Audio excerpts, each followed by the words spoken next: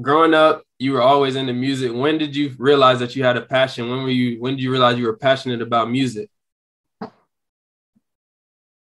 See, thing is, I'm, I'm, I'm gonna be real. Like I've been engineering, man. Like, I, I learned how to engineer at six. Like that's my first time me being in the studio. And my pops like just over me, like making sure, like, hey, you know, making sure you ain't he he's test me like you ain't got like you you can't move that hook over to the second verse. You can't do that. Like, you know, I used to surprise him, like, because I used to really pay attention and like I really knew how to engineer. Like multiple man, I done engineered so many artists. Like in my time being in Tampa, like they'll tell you, like OG, they'll tell you, like, yeah, Shouter was like getting up with us. Like y'all getting ready for bed, y'all getting ready for school. This nigga, this young nigga here really like getting it in. You know what I'm saying? So it's like I really said like I've been I've been had the passion, but far as in me wanting to like go full force, I probably say I was about like nine. That was when I wrote my first like rap. Like, all right, I'm, I'm like, I'm gonna write my rap. And I used to always rap to my mama.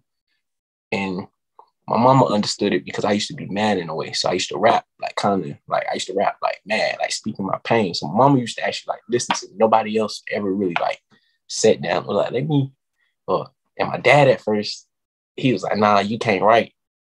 Had my uh big bro. Matter of fact, he's from Tampa, Swava Ty. A lot of people don't even know this. Swava Ty wrote my first song.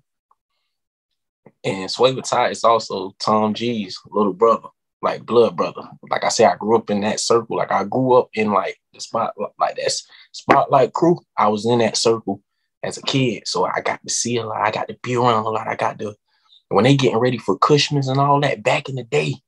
I was the one like, man, can I go? Can I go? Can I go? They're like, man, hell no, hell. To it now it's like, like I can actually probably perform and do my thing and. You know, that ain't nothing though. But you know what I'm saying? Not to get off topic, but just saying like so he was tying up writing a song for me. And my dad was like, and I, you know, I used to be mad because I was like, man, I, I, pops, I can do this. Like, shout out, I, I, I'm really like that. I can do this.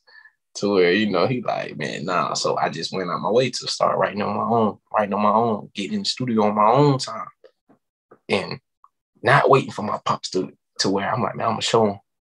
That was one thing, you know, with this. I always was like, man, I want my pops to be like, man, like my son really can do it. Like, you know, I'm not gonna lie, like that was something big for me. I wanted to be like, hey, pops, like, man, look at this song. And my pops be like, oh yeah, you know what I'm saying? To where now it's like my plan worked out. Like I just went on my own time. Like, all right, I'm finna shoot, I'm finna get videos by myself. I'm finna, you know, I'm gonna get for real with it. And he was the first person to actually put me in the booth on my 13th birthday party. Like, I mean, my 13th birthday. I ain't have no party he was like, for your birthday, you gonna record your first song. So that's why I say Swava Ty wrote me a song. I had to have that song. I had to memorize the song and know how to do it by the time my birthday came.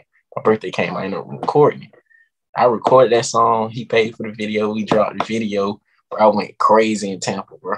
Everybody remember this. I was going to Bartell's. Um, I was in the seventh grade. No, I was in the seventh grade. No, six, no, I was in the sixth grade going to the seventh grade, and we dropped it. Seventh, like in the middle of the seventh grade, man, I'm talking about the reaction was like crazy. So from there, man, I was on it. I was on it ever since then. But like I said, you know, around like my 13, like that was when I my first song. Ever since then, I ain't stopped then. For sure. Like I'm, I'm, I'm head on. I'm all the way in. Like ever since that first time or I recorded that first song when I was 13, bro, I ain't stopped since then. But I knew what the goal was gonna be.